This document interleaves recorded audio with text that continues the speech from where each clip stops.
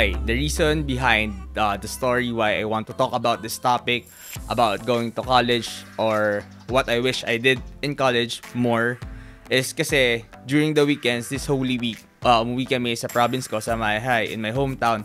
And napag-usapan ng family namin, nung mga tita ko, nung mother ko, uh, mga ninang ko, uh, yung mga pinsan ko kasi I have two younger cousins who's going to college. And feeling ko nag-overthink sila, nag-overstress sila on on yung decision on where to go to college, on what degree you have to take in college. Na yung feeling nila na if you don't get the right degree, you don't get to the right school, you'll be a failure in life. And para sa akin, uh, hindi hindi yun yung uh, opinion ko about college. I think college is about knowing yourself more and being more comfortable in having your own decisions in your life. So, ayun, that's where I want to like put my opinion about going to college. Just to talk about more about this content. Let me just share to you yung uh, things that I wish I did more in college. I don't totally regret anything that I did in college. Just want to share yung things na I think would be more meaningful pagka gawin mo once you're done in college. So, before I talk about that, let me just get my coffee. Okay, I have my coffee now. I'll just put it in the table na hindi nakikita sa frame na ito. Let me just emphasize this, that college is important, but not to the point na you'll be a failure once you chose a wrong degree, a wrong school.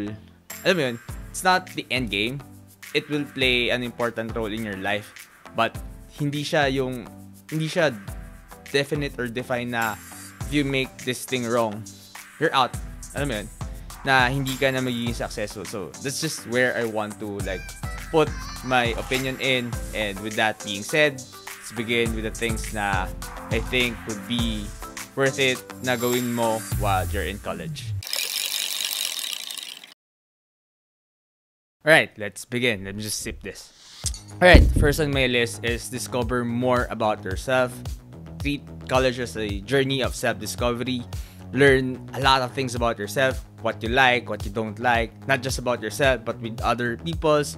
Uh, learn new stuffs, learn new hobby, uh, find where you're passionate about, go to as many events as you can. Kasi when you're college, uh, when you're still a student, ang dami-daming free events for you na you might find interesting, na you might listen to speakers na they have good stories na you'll be inspired uh, or could motivate you to find whatever you want in your life. So yun, make the most out of what you have when you're college, when you're just a student. This is something na hindi ko nagawa nung college. This is to join an org. I, I highly suggest to join an org kasi the main thing na matututunan mo doon is to be responsible, to take responsibility for other people. Kasi pag nasa org ka naman, you're, you're not ano eh, just responsible for yourself but you're responsible for other people. Lalo na kasi sa org you'll be placed uh, in a committee. So yun the, the thing na nakikita ko doon na malaking factor uh, once you become an adult once you have your own life is you know how to take responsibility. Pati sa work I think it, w- it would be like a good thing for your work. Pero hindi hindi I think hindi siya ganoon ka ka-importante in your resume But, but, there's a lot of intangibles in life and I think isa yun sa pinakamaganda mo makukuha out of an org. And another is network. Network, network, network, network. Know as much people as you can during college. Pero hindi lang dapat ganun. Like, give as much value as you can to other people. And later in life, you'll see na yung mga nagawa mo for other people, you can, you can like make something out of it Ah, but, but, yun. So, just magtanim ka lang na magtanim ng magtanim na magtanim ng magagandang uh, bagay sa ibang tao and and you'll see later in your life it will all be worth it so ayun that's that's the thing na I I could suggest na magagawa mo once you're in an organization this is something in this list na I think uh, I should have give a shot back in college uh, this is to be an exchange student. So not every school has that opportunity but in our school sa Mapua, may opportunity naman for us to be an exchange student pero hindi siya ganun ka broadcast, hindi siya ganun ka marketed. So I think even dun pa lang sa part na paghanap ng opportunity na yon, it teaches you how to seek for opportunities. So, uh, it is a great skill. It's a good skill na madedevelop mo. And again, isa pang magandang mangyayari sa'yo once you become an exchange student is yung independence, yung true independence sa ibang bansa na may experience mo. I think it will teach you a lot of things about yourself. Lalo if it is a non-English speaking country, you'll be challenged na not to like communicate just verbally kasi syempre hindi, hindi naman nila maiintindihan yung sinasabi mo eh.